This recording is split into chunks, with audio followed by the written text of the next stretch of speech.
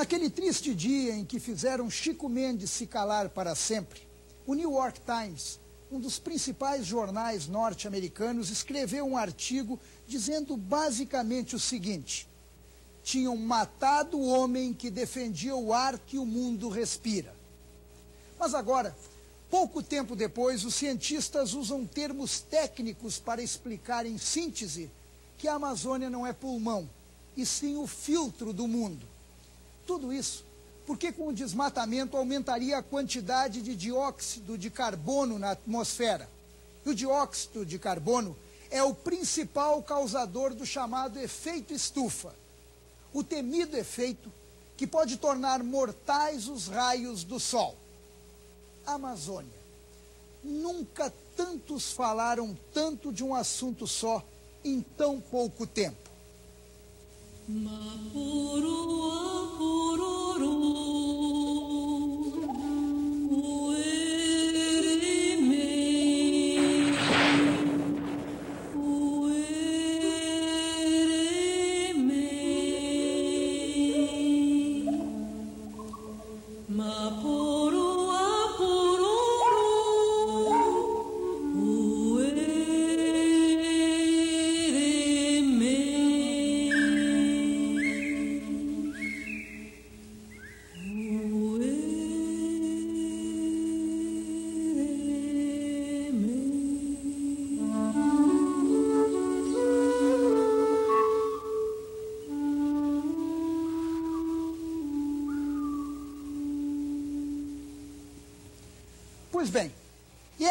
busca da sonhada reconciliação entre o homem e a natureza que nós vamos iniciar esta noite, junto com vocês, uma viagem pela Amazônia. Nós vamos visitar este mundo mágico, este mundo ecológico.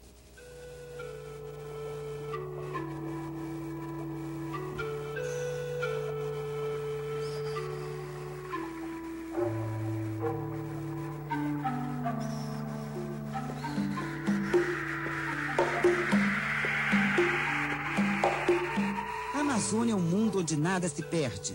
Aqui, a natureza chegou a seu clímax, ao máximo de vida que se poderia criar neste meio ambiente.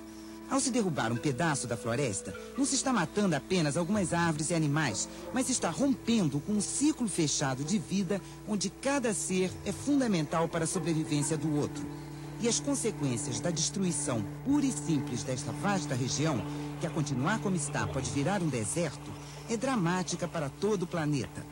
Os cientistas alertam para o risco de elevação da temperatura em toda a Terra, a modificação dos ventos, a elevação do nível dos oceanos com degelo dos polos. Mas não será um exagero dos cientistas?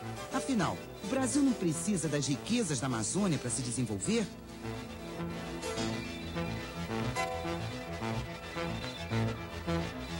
Sim, precisa. Mas vamos devagar. Vamos tentar conhecer melhor a Amazônia e avançar aos poucos.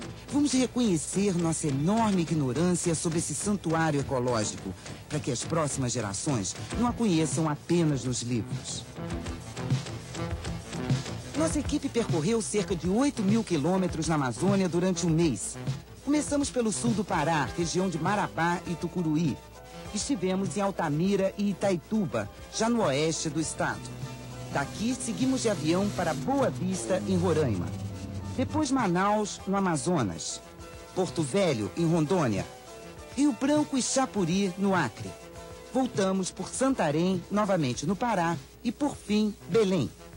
Não é fácil viajar nesta época. Na maior parte do caminho, cruzamos regiões que estão na estação da chuva, o inverno. E na Amazônia, praticamente não existe asfalto. As estradas tornam-se lamaçais, ou até rios com cachoeira e tudo. Os caminhões, carregando enormes toras de madeira, interrompem o caminho a todo momento. Em outros lugares, só se chega pelo próprio rio, em pequenos barcos nem sempre confiáveis. Ou a pé, por trilhas inundados. Mas a grande aventura é voar nos pequenos aviões dos garimpos. Os pilotos na Amazônia dão uma prova diária de coragem ao pousar nestas pistas esburacadas e curtas no meio da selva. A primeira impressão de toda a viagem é a vastidão de tudo aqui. As distâncias são enormes, a selva é amedrontadora. O homem parece tão pequeno diante da natureza ainda intocada. Mas o que mais assusta é a violência. A violência da destruição num ritmo crescente e sem controle. A violência do descaso, onde cada um se vira por si e a autoridade só chega para defender o mais forte. Não é só a mata que está ameaçada. O seringueiro, o castanheiro, o índio, enfim, os povos da floresta estão ameaçados de extinção. Aqui começa a nossa viagem, Marabá, sul do Pará. É a principal porta de entrada por terra da Amazônia. O primeiro carro chegou aqui há 15 anos, quando inaugurou a Transamazônica. Encontrou uma cidade de 3 mil habitantes. Hoje, Marabá tem 200 mil, vivendo em grande parte em favelas rurais como esta. Marabá é um pouco retrato da Amazônia de hoje. O progresso que chegou de repente, junto com os conflitos de terra, o ouro, o desmatamento desenfreado. Assim começou a história da destruição. Naquela época, o governo considerava a Amazônia um espaço vazio a ser explorado. A floresta parecia inútil. Havia que derrubá-la para se produzir riquezas. Plantar arroz, fazer pasto para o gado, extrair os minérios. Deram incentivos fiscais para o desmatamento. Essa política fez do sul do Pará a área dos grandes conflitos de terra do país.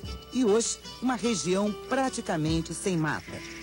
O castanheiro, que vivia da floresta, torna-se um sem terra que invade as fazendas e as reservas dos índios. Nessa guerra não declarada, morreu muita gente. É, o que aconteceu foi um, um, um, uma violência muito grande. É, morrendo, morrendo muitos pais de família, mãe de família, criança, né? Quem é que mandou matar? Olha, eu não tenho assim uma uma certeza de vista, mas uma realidade concreta, né? Porque eu acho que é, isso é, o, a, é a realidade é que foi o senhor Edmundo Virgulino. Proprietário do Castanhal Bar? Não é proprietário. Bom, ele, ele considera, agora nós não, porque eu acho que ele não tem documento que... É, que que prove que ele que prove diretamente, ele está certo, ele é um ocupante. É um ocupante. Eu Como não... são ocupantes os poceiros. Exatamente. Eu não considero porque se mesmo ele tem um título é, de um, de, vamos dizer, de 100 hectares, 200 hectares, até 500 hectares, mas ele não tem o título dessa terra toda. A luta dos poceiros pela terra os coloca contra os fazendeiros, a polícia e os índios, os antigos donos da região. É um pouco da história de Dona Maria Rodrigues de Jesus, de 50 anos. Ave Maria, nós ficamos, só não ficamos de esmola que Deus é pai, Nossa Senhora é mãe, que, nós, tudo que nós levávamos para lá, eles ficavam regados, até o calçado da gente eles carregavam. Ferreirão, com polícias e tudo. Queria matar tudo. Só não matava porque corria, tinha dele, se perdia, vinha sair em casa com três dias perdido. Polícia fazendo fogo. Mas a polícia é atrás do, do, dos poceiros ou dos índios? Atrás dos poceiros, Marrozinho, Marrozinho e Ferreirão. Quem era Ferreirão? Ferreirão, lá do Parreio Marreiro, Marrozinho. Trazia aquele alarme de, de, de polícia para tirar nos poceiros e os pobres rolando tudo por dentro da folha e escapulia.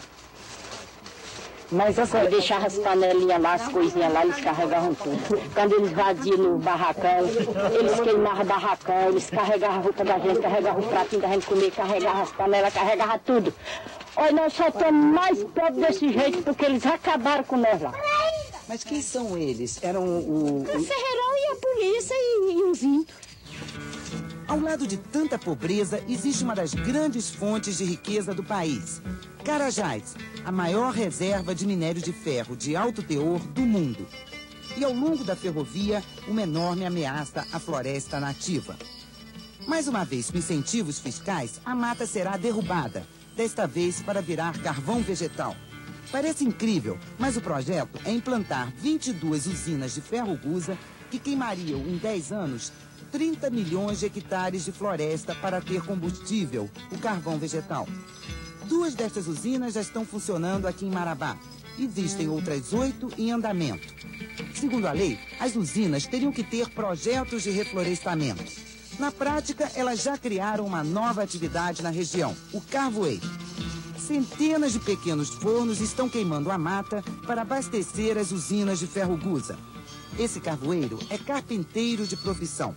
Ele parece ter vergonha do seu trabalho. Se eu tivesse condição de montar uma oficina para mim, aí eu sei que eu tinha condição de comprar um, esses pedaços de moga aí, né? Eu fazia meus bagulho e eu vendi, né? Essa madeira ia ser útil, né? Sem ser queimando. Eu sei fazer a porta, da almofada, janela, tipo que eu sei querer. Né? E o que, que o senhor acha de estarem derrubando a mata para fazer carvão para as usinas? Vantagem que eu acho mesmo só por causa que acaba tudo. Aí no fim como é que a gente vai ver, né? Nada. Pode viver.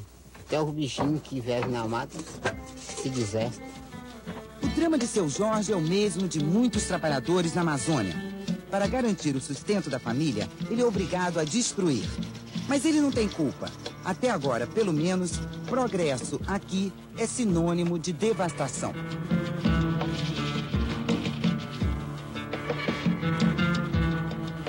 Vamos continuar junto com vocês a nossa viagem pela Amazônia. De repente começaram a surgir algumas perguntas. Até quando o progresso será sinônimo de devastação? E até que ponto aproveitar um enorme potencial dos rios de uma região será o mesmo que devastar? Nessa nossa saga amazônica é chegada a hora das hidrelétricas.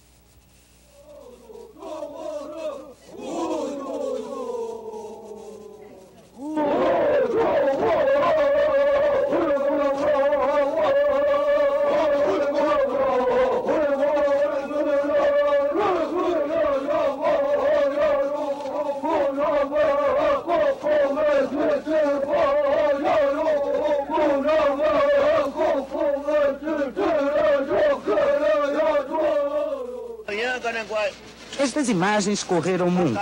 Na cidade de Altamira, no Pará, 40 nações indígenas se reuniram para protestar contra a construção de hidrelétricas no rio Xingu. De repente, o país parece ter descoberto que a mata inundada pelas barragens tem dono. Povos que vivem aqui há milhares de anos, que conhecem como ninguém cada árvore, cada curva do rio. A hidrelétrica vai matar o rio.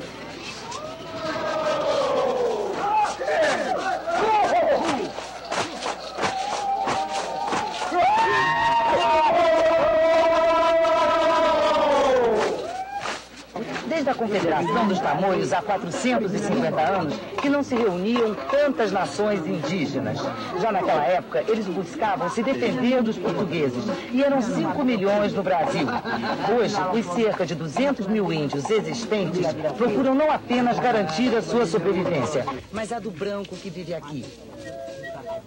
O encontro de Altamira não foi apenas uma demonstração de força e união dos povos indígenas.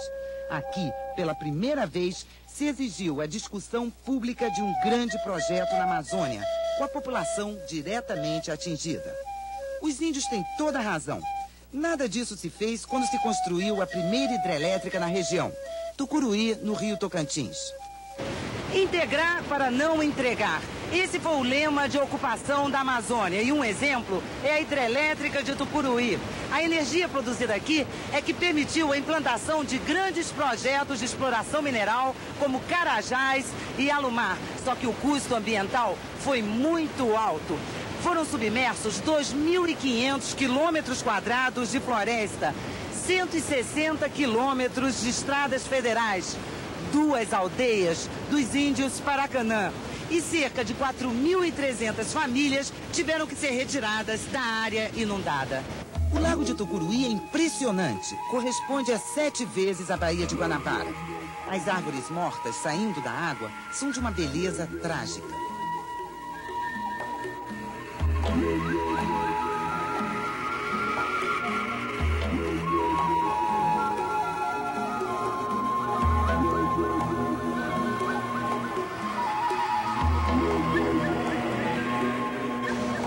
O que sobrou da floresta que existia aqui. Por que, que não foi feito um estudo prévio que evitasse um impacto ambiental tão grande? Bom, Tucuruí foi planejada e construída em outra época. Na, naquele tempo não havia essa consciência, essa preocupação ecológica, mas ainda assim a Eletronorte, desde o início da hidrelétrica, começou a fazer convênios e solicitar o apoio de instituições científicas e consultores para prever o que aconteceria durante a construção, o enchimento do lago e após a operação da usina. Os depoimentos dos antigos moradores da área inundada não deixam dúvidas. Em Tucuruí, o maior impacto ambiental foi sobre o próprio homem. Plantava abacate, plantava laranja, plantava manga, plantava esse batata, mandioca, macaxeira. Qual era o tamanho da sua terra lá? Minha terra só era uma terra pequena, só era 12 linhas de charque. O que, que o senhor recebeu da Eletronorte? Primeiro eles me deram uma micharia de 45 mil. Na época eles chamavam milhão, mas não era milhão, era na língua do povo que não conhecia o que era dinheiro, né? E dava para quê 45 mil, mil na época? Dava para minha passagem e para a despesa que eu estava lá. Tem gente que não recebeu nem casa nem terra? Até exemplo? hoje eu conheço gente que eu dei posse de em casa, não recebeu casa. Tem gente aí, eles botando para fora com a assinatura da juíza, de destacar da casa para fora. Assisti ontem e antonte esse relatório e ele está indo para Baitetuba caçar os direitos dele, né? Quer dizer, a população aqui está brigando na justiça. Briga na justiça e briga por fora da justiça, né? O governo parece não ter aprendido a lição de Tucuruí. Logo depois, iniciou a construção de outra hidrelétrica, de Balbina. Um completo desastre. A usina ainda não foi inaugurada, mas já funciona em parte para abastecer Manaus. Só que nem quando estiver em plena atividade será suficiente para suprir de energia a capital do Amazonas. E o que é pior, um lago do tamanho do de Tucuruí poderá produzir apenas a vigésima parte da quantidade de energia. Quer dizer, milhares de quilômetros quadrados de floresta inundados, duas aldeias dos índios Vaimiria Troari removidas para nada. O próprio presidente da Eletronorte reconhece o erro. O pecado de Balbina é ter um lago muito grande em relação à usina. Esse é o grande pecado. As outras questões em torno de danos ambientais é, irreversíveis, isso aí não me parece muito significativo. Nós temos uma floresta aí submersa, mas que dentro de uma tecnologia desenvolvida em Tucuru, já em Tucuruí, nós pretendemos propor a extração dessa floresta toda ou seja, o seu reaproveitamento é, de maneira econômica. Hoje a Eletronorte já não construiria Balbina, segundo não. esses novos parâmetros? Não. Por outro lado, os cientistas reconhecem a necessidade de se produzir energia. E, sem dúvida, a hidrelétrica é melhor que a nuclear. Mas é preciso que se discutam os projetos, que se ouça toda a sociedade. O senhor defende a construção de pequenas hidrelétricas em lugar das grandes para diminuir o impacto ambiental? Isso precisa ser analisado caso a caso. Eu acho que as duas possibilidades podem conviver. Né? É claro que uma sequência de pequenas hidrelétricas é, pode causar menos danos no seu conjunto, mas custarão mais caro. Então é uma decisão a ser tomada né, pela sociedade. E eu acho que em algumas situações talvez seja possível termos uma grande hidrelétrica, e em outras uma sequência de represas menores, sobretudo quando se trata do abastecimento da própria região amazônica com energia elétrica. Agora estamos em Rondônia, perto de Porto Velho, a capital. Aqui está se construindo a hidrelétrica de Samuel. Antes de inundar 500 quilômetros quadrados, foi extraída toda a madeira nobre. 240 mil metros cúbicos de árvores como mogno, sucupira, jatobá, castanheira, muirapiranga. Por sorte, não havia índios. Na verdade, os seringueiros bolivianos do começo do século já tinham matado todos. O resto da madeira alimenta essa usina termoelétrica. Sem dúvida, a própria imagem do progresso amazônico. Mas os animais? Enquanto as árvores eram abatidas, eles foram fugindo. Para os que sobraram, montou-se uma operação de resgate, como nas outras hidrelétricas. Uma diferença. Aqui, Há 200 cientistas trabalhando em 52 projetos de pesquisa biológica. Nós vamos acompanhar agora o trabalho de uma equipe da Operação Jamari. É o nome da operação de resgate de animais na região inundada da hidrelétrica de Samuel, em Rondônia. Em quatro meses de trabalho, eles já recolheram cerca de 15 mil animais de centenas de espécies. Esses animais são estudados aqui mesmo no laboratório de Samuel e também em instituições científicas de todo o Brasil. Aliás, esse é o principal objetivo da operação. Não é o salvamento em si dos animais, e sim o estudo científico.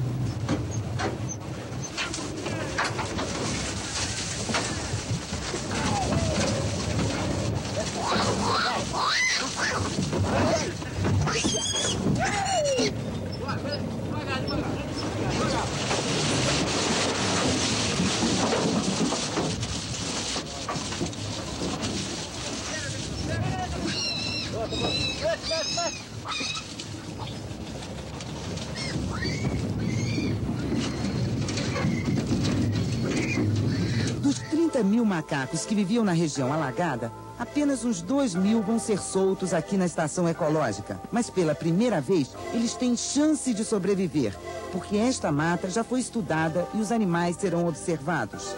Este pedaço de floresta poderá funcionar no futuro como um banco de espécies.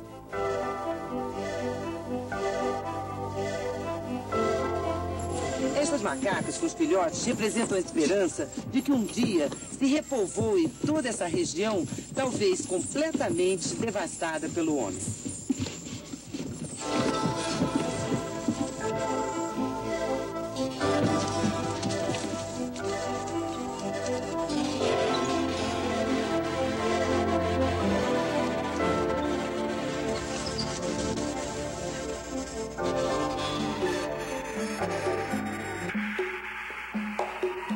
Esperança. Há esperança, sim, em meio à mata. Mas não só quando na estação ecológica macacos são soltos e ganham uma chance de sobreviver. Os filhotes de qualquer animal representam uma esperança, a da perpetuação da espécie e, portanto, da perpetuação do verde que o cerca. Mas como na nossa bandeira, ao lado do verde, há sempre o amarelo, no caso da Amazônia, o amarelo é o ouro. O ouro é outra esperança, uma esperança que faz parte da paisagem amazônica.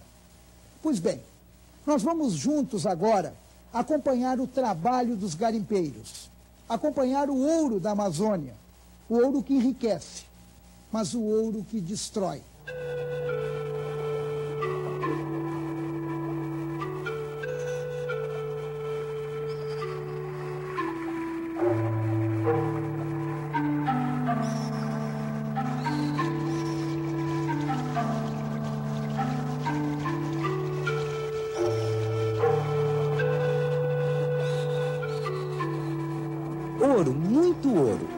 Amazônia tem uma reserva mineral incalculável. Pedras preciosas, bauxita, cobre, cassiterita, manganês, urânio. Mas o que enlouquece os homens é o ouro. E nessa terra de ninguém que é a Amazônia, a corrida do ouro atraiu gente de todo o país. A maioria não tem nada a perder. Chega com a roupa do corpo e se embrenha na mata. Não interessa se a terra tem dono, se é uma reserva indígena. Não interessa se o mercúrio usado na apuração do ouro está poluindo o ar e os rios. Não há controle. O ouro é de quem chegar primeiro. Essa foi a história de Serra Pelada, da região de Itaituba, no oeste do Pará, do Rio Madeira, em Rondônia, e é hoje o que está acontecendo em Roraima, extremo norte do Brasil. Os garimpeiros são hoje quase um milhão na Amazônia. Grande parte trabalhando dentro das terras indígenas. Diante da indiferença das autoridades, os índios estão aprendendo o valor do ouro na nossa sociedade. Muitos estão se tornando garimpeiros, trabalhando ao lado dos brancos.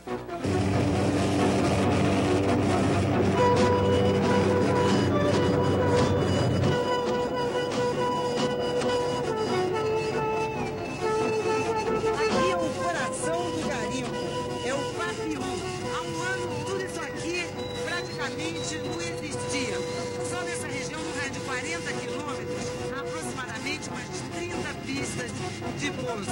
Agora nós estamos decolando de helicóptero e estamos seguindo para Astiriano, um garimpo bem recente que fica a 30 minutos de voo daqui, dá mais ou menos uns 80 quilômetros. Nós estamos no oeste de Roraima. Toda essa região, segundo os garimpeiros, tem cerca de 50 mil homens. Essa terra dos índios é Yanomami, eles hoje são apenas 9 mil. A ciência ainda não descobriu a origem deste povo, que fala uma língua sem qualquer parentesco com a dos outros índios da Amazônia. Mas talvez não haja tempo. Eles estão desaparecendo, mortos nos conflitos com fazendeiros e garimpeiros, das doenças do homem branco, de fome. Neste completo abandono, às vezes é o próprio garimpeiro que lhes traz comida e remédios em troca do ouro. Amigo, Boa Vista, Chinoca, Brasília, Chinoca, Brasília. É. Tuxal, Boa, Boa Vista. Aí, remicho, comida, calção, rede, é, trabalhar ouro, garimpeiro trabalhar ouro, garimpeiro trabalhar tuxal, trabalhar, trabalhar, trabalhar.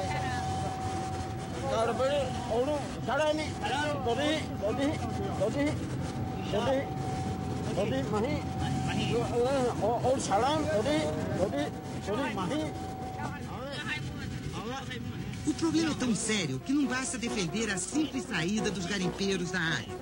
O governo teria que assumir o controle e dar uma verdadeira assistência aos índios.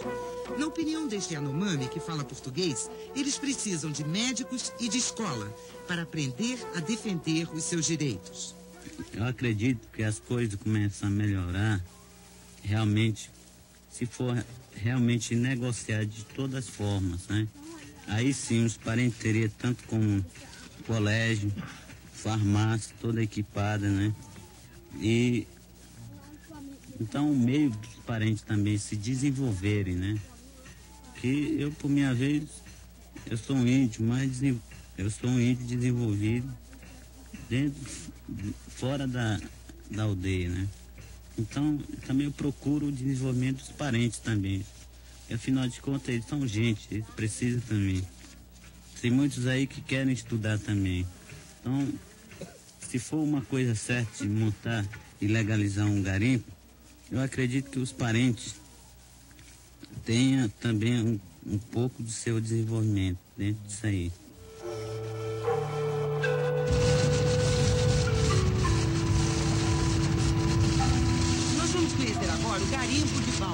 O rio Irariquera, perto da fronteira da Venezuela. Aqui é a reserva dos índios Huaicais.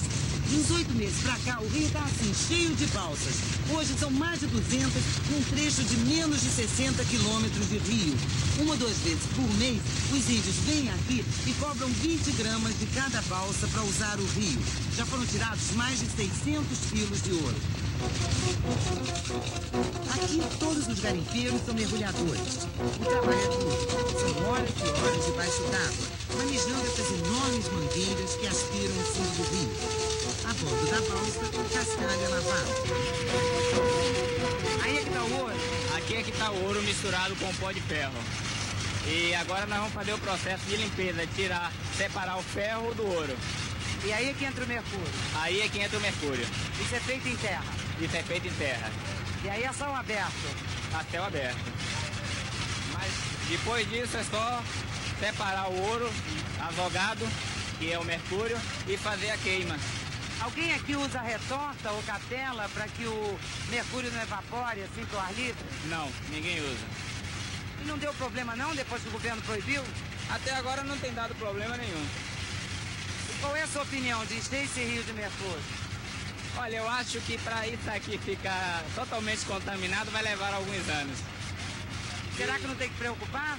Tem sim, porque já tem novos processos para eliminar o azogue, como a placa azogada. E daqui uns dias já está sendo usada.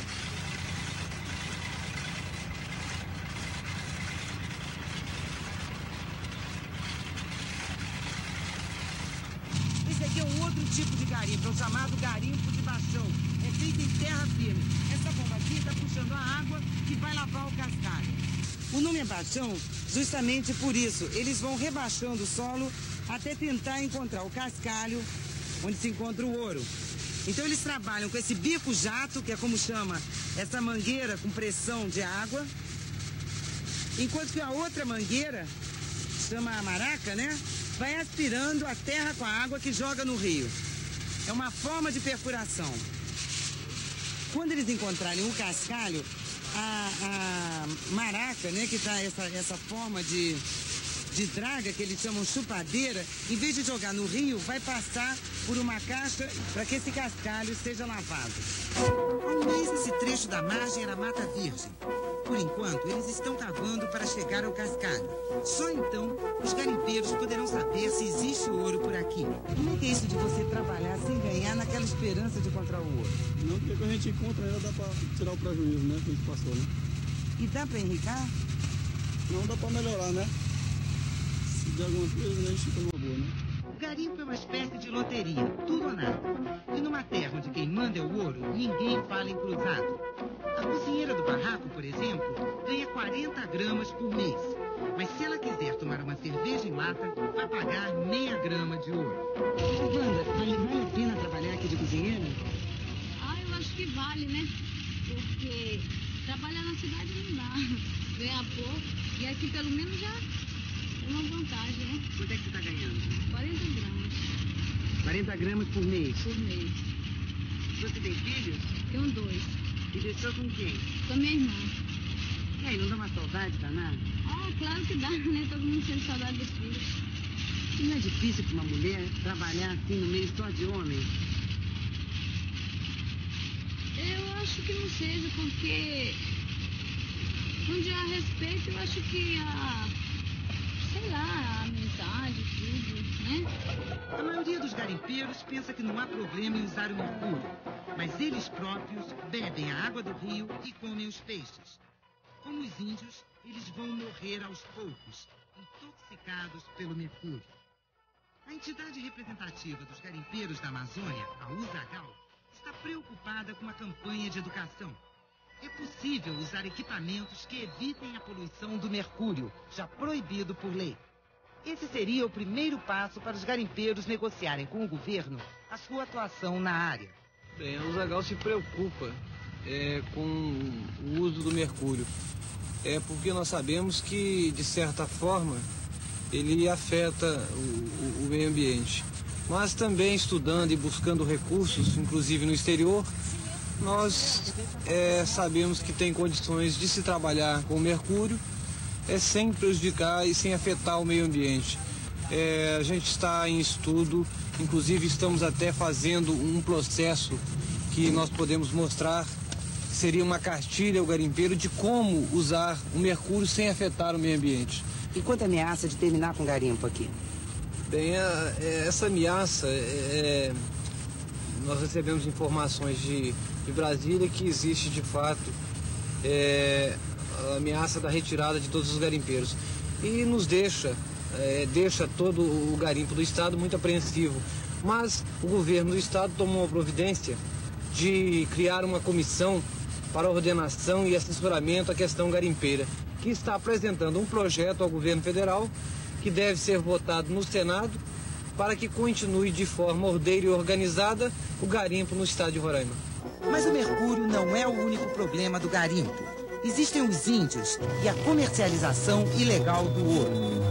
O chefe do Departamento Nacional de Produção Mineral em Roraima, o geólogo Salomão Cruz, diz que não há nem mesmo um levantamento mineral detalhado do Estado.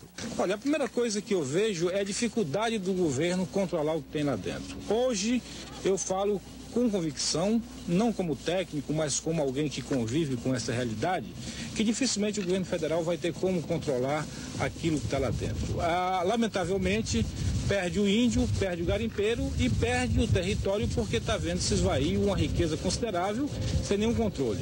O que eu acho que tem que ser feito é tentar, de todas as maneiras, tentar racionalizar. Eu não sei o que é possível o governo fazer, porque isso depende de recursos.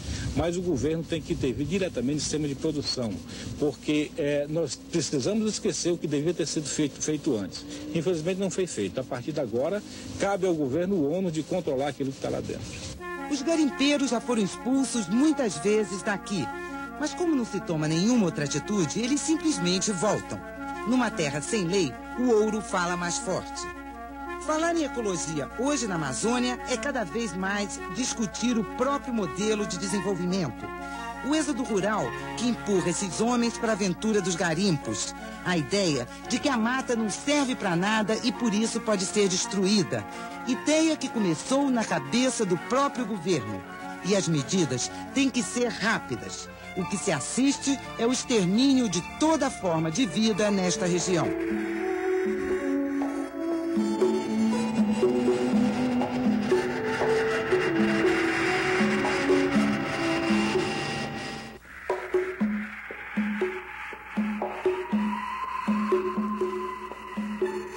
Mendes.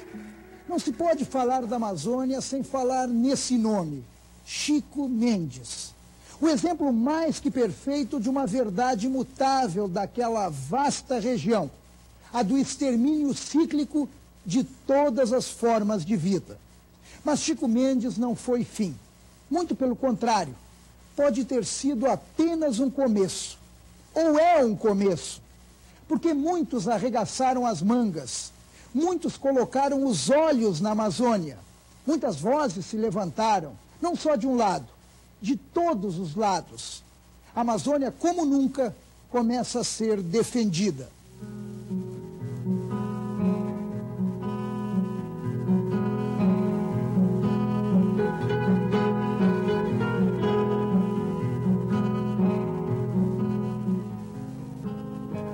Chico Mendes, do Seringueiro. Chico Mendes, o guerreiro da natureza. Chico Mendes, a lenda. Nesta pequena casa em Chapuri, interior do Acre, Chico Mendes foi assassinado. Agora é a sede da fundação com seu nome. Os retratos com a família, a toalha que levava no ombro no momento do crime, os prêmios internacionais recebidos por ele, tudo está aqui. Chico Mendes não pode ser esquecido, porque a luta dos seringueiros continua e tornou-se não apenas a luta pela preservação da floresta, mas também a denúncia do latifúndio que expulsa o trabalhador da terra, da violência no campo, do genocídio dos índios. As ameaças de morte continuam. Na lista negra dos pistoleiros está o padre Luiz Sepe, coordenador da Pastoral da Terra no Acre e vigário de Chapuri. Ele explica a importância da luta pela criação das reservas extrativistas. O senhor mesmo está ameaçado de morte. O senhor acha que os pistoleiros também estão se rearticulando? Estão se articulando porque os principais líderes desta, deste crime organizado no campo estão ainda soltos. Seja em nível de mentores, então toda a direção da UDR, e seja também em nível de gestor do crime. O maior é o Gaston Mota, que se encontra livre e protegido pela polícia, porque também ele se sente ameaçado, e que continua indo para a Bolívia, trafegando com armas e, com, uh, e também com droga. Daí então se percebe que este poderio está rearticulando, até chamando outros pistoleiros de outras regiões para instaurar novamente um clima de medo nesta região. A vida do seringueiro depende da floresta. A árvore da borracha só se desenvolve no seu meio natural. Ela precisa da mata. Por isso as famílias moram bem longe uma da outra. Cada uma tem a sua colocação, como eles dizem. O seringal é a própria floresta. Aqui vive uma das 12 famílias que trabalha no seringal Palmari. Todas elas vivem em casas como essa, de madeira e construídas assim no alto. É uma forma de proteção e também ajuda a evitar a umidade.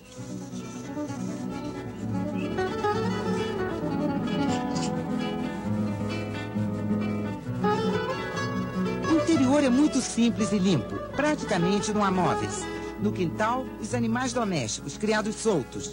Uma pequena roça. E a casa de farinha, onde também se pila o arroz. Aqui não se passa fome. O almoço está ótimo. Galinha, arroz, feijão e pimenta doce.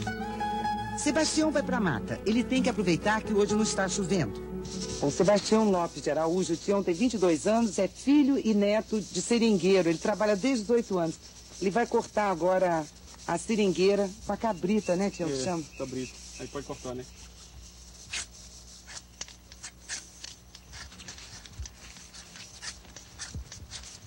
Tem que ser um, um, um risco grosso, né? Não pode ser...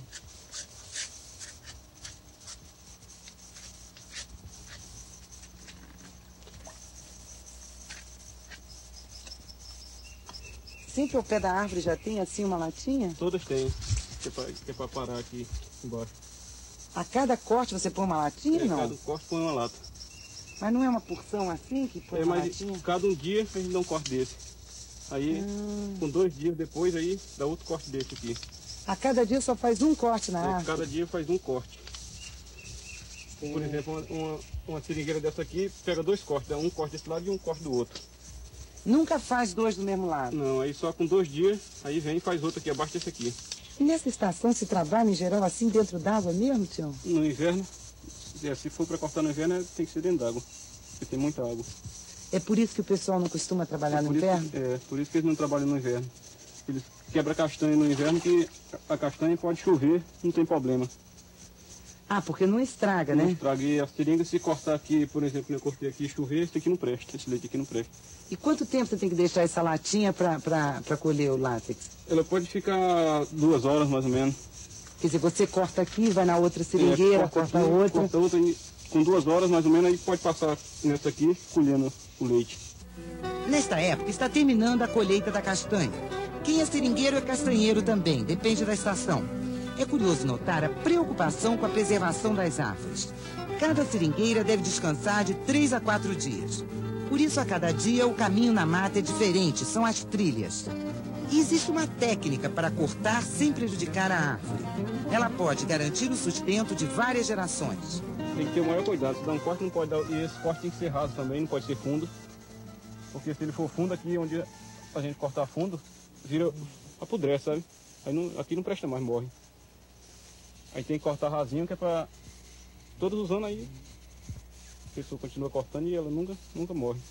E uma Entendi. seringueira só, assim, ela dura quanto tempo para explorar? Conforme o, o trabalho, que nem eu tô falando, se cortar ela fundo demais, ela dois anos, três anos ela morre. E se cortar direitinho, ela atura a vida toda. E dá para os filhos também? Dá para filho, neto e tudo.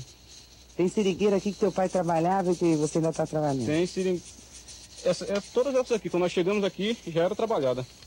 Aí o papai trabalhou e parou e nós estamos trabalhando e ela ainda está viva, ainda continuando viva. Desde o começo do século que é assim.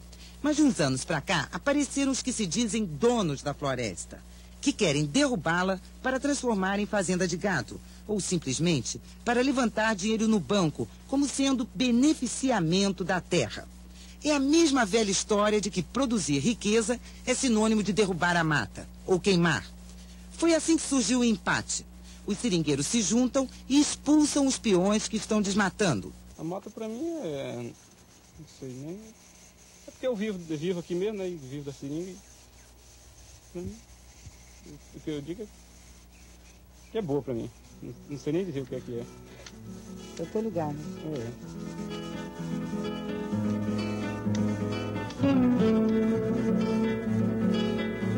É difícil explicar uma coisa da qual a gente faz parte. E a única forma de proteger a floresta contra o latifúndio que desmata é a criação das reservas extrativistas. Depois do assassinato de Chico Mendes, foram criadas duas reservas. Mas para o sindicato, isso é só o começo. Ainda tem muita briga pela frente. Problema aqui, né, do escoamento da produção, né? Não adianta plantar se não consegue vender, né? Os próprios colonos, e, sim, outra coisa que, que o seringueiro tem, tem cisma, é porque se um seringue- seringueiro chegar na cidade, até com 10 toneladas de borracha, ele vende dentro de uma hora ou 10 minutos, se for possível, né? E se ele tiver mil quilos de farinha, de feijão de arroz, talvez ele passe 15 dias para vender. Não tem escoamento, não tem, não exporta para canto nenhum, tem que ser consumido aqui mesmo. E a borracha não é assim.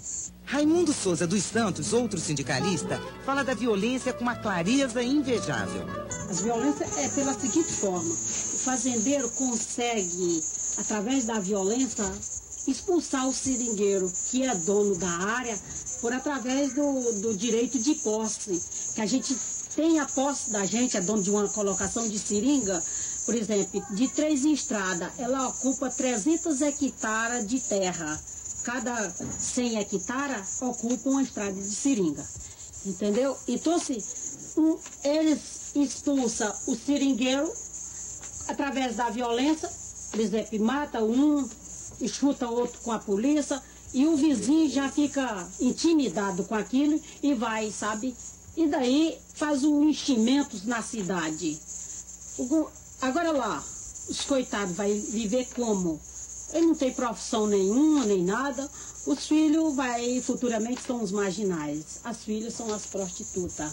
O governo cria a polícia, esquadrão da morte, para poder de eliminar. Quer dizer, o governo tira esse povo da mata, da floresta, que sabe sobreviver, que é através dele que o fazendeiro são aliados, e joga lá, né? Agora, co- como chega lá, como ele vai resolver? O povo precisa viver. E daí ele cria o esquadrão e mata, porque para ele mandar de volta, vai ocupar as terras. E daí a do amigo não pode. Entendeu? Agora, o senhor disse que é o governo que cria o esquadrão? Não sei. É, porque para mim é as forças, as autoridades é controlada com eles, porque os políticos, né, é quem manobra essas coisas, a- a- os autos.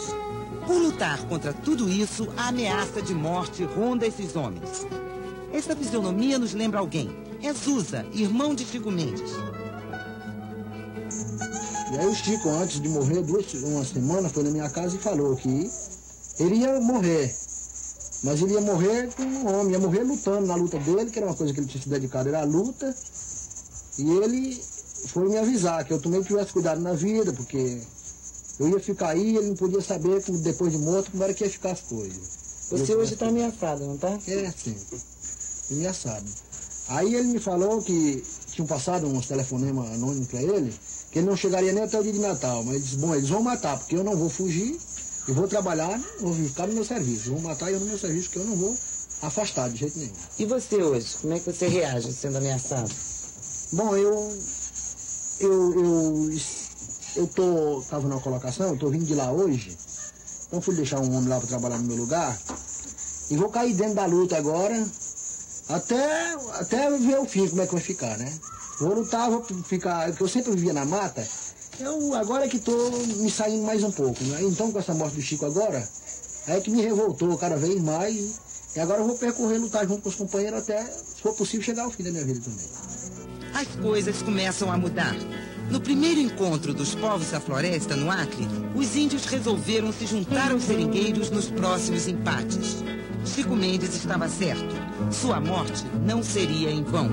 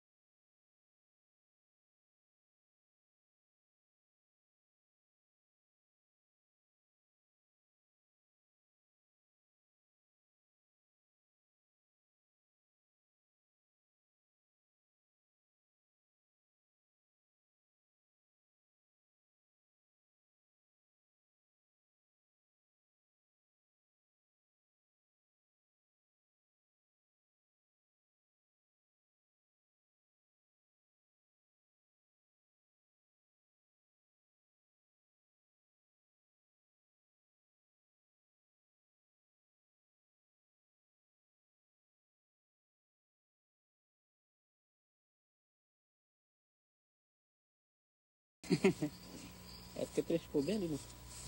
Pena aquela que não daquele pauzinho. né? Mas dá pena? É, faz, faz dó, né, gente? Derrubar as águas, destampando. O sol é tão quente. E você fica pensando assim, é, o tempo que vai levar para essa árvore nascer de novo, ou se tirar toda essa mata, que não vai ter mais vida aqui. Você pensa nisso, não? Ou não pensa? É, realmente a gente um pouco meio preocupado, né? A gente quase nem pensa tantas coisas assim, não pensa isso. Todos têm pena do que está acontecendo com a natureza na Amazônia. Mas para alguns, a devastação ainda significa fome e expulsão da terra. É o caso de Chico Machado, um ex-castanheiro na região de Marabá, no Pará. Aqui, a floresta quase toda virou pasto ou plantação de arroz. E as castanheiras, mesmo quando sobrevivem à queimada, porque são altas, não dão mais frutos.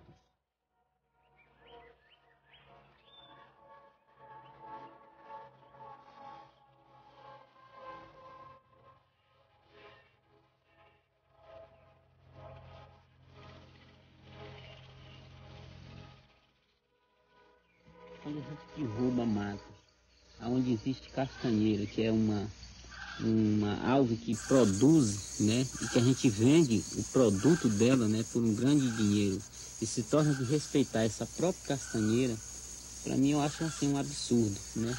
Como eu vejo isso de modo geral aqui no, no sul aqui do, do, Pará, aqui região de Marabá, é um absurdo. Não, é, não pelo menos explorado assim de maneira violenta, como colônia, mas assim, os altos fazendeiros que bota, que bota é, é, é, dois, três mil ao de, de, de derrubada dentro do castanhal, situação não fica esse castanhal. Quer dizer, eu sinto o castanhal, a castanheira, assim como uma, uma pessoa, que a pessoa quando morre um, o camarada fica sentindo a falta daquela pessoa, né?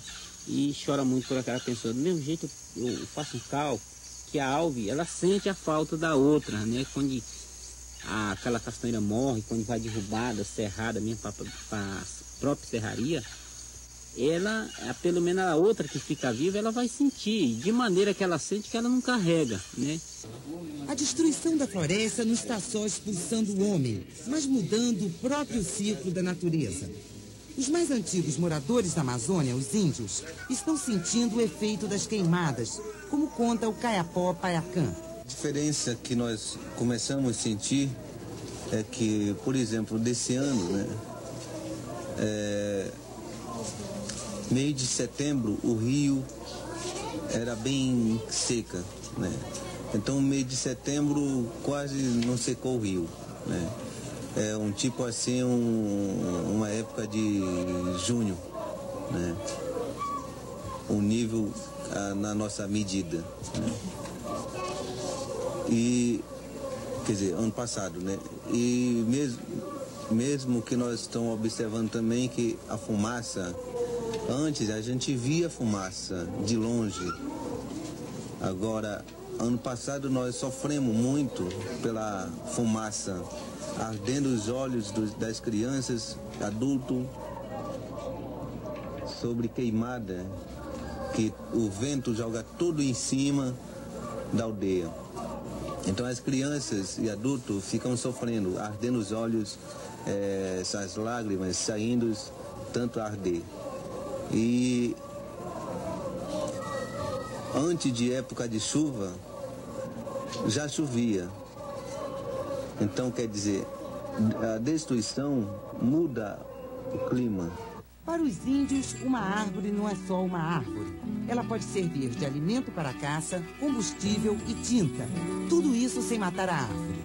O que os cientistas estão tentando é conhecer melhor o que a tradição ensinou aos povos da floresta. Só assim será possível criar projetos na Amazônia respeitando as leis da natureza. Na Ilha do Cumbu, perto de Belém, o Museu Guild faz outra pesquisa. Aqui é a Mata da Várzea, periodicamente inundada. Biólogos e engenheiros florestais estão reproduzindo as técnicas usadas pelos caboclos da região e observam os resultados. ver que é possível que usos tradicionais da terra, feito por uma população ribeirinha, podem ser viáveis economicamente e ecologicamente para a sobrevivência da floresta e uma boa subsistência da população. Nessa região, o caboclo vive principalmente do açaí. Mas ele não derruba a árvore para tirar o palmito, como fazem as indústrias. Só em último caso. O fruto do açaí é vendido a bom preço em Belém, a meia hora de barco. Oscar nos explica que a folha serve para cobrir as casas e a seiva é um bom cicatrizante. Pode comer, não? Pode.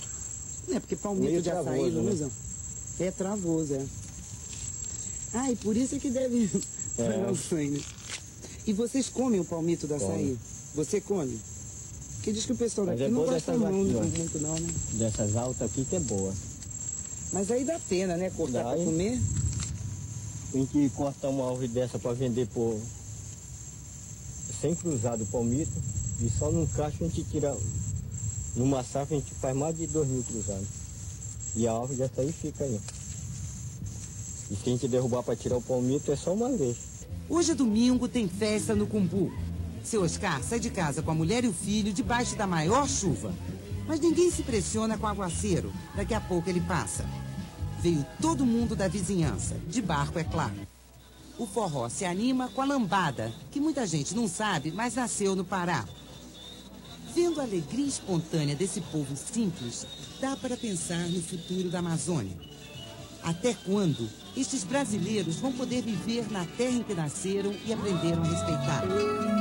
Até quando a especulação permitirá que eles continuem a sobreviver? Até quando as autoridades vão continuar a ignorar as pesquisas pioneiras que tentam criar uma alternativa para a região? Esta viagem nos mostrou que a Amazônia não é uma só. Não existe uma solução para a Amazônia. Vamos ouvir essa gente, porque não somos só nós que estamos preocupados. A humanidade inteira depende dela.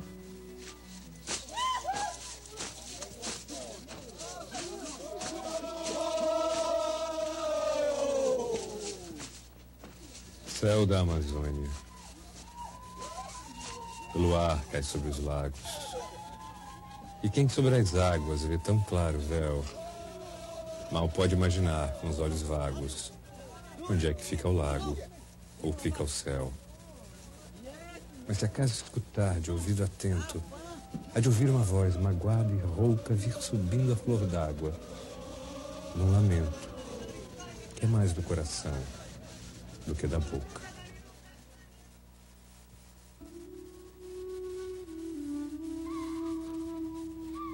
Yara, ninfa das águas que enche os serenos igarapés de luz amorosa e ao mesmo tempo sinistra.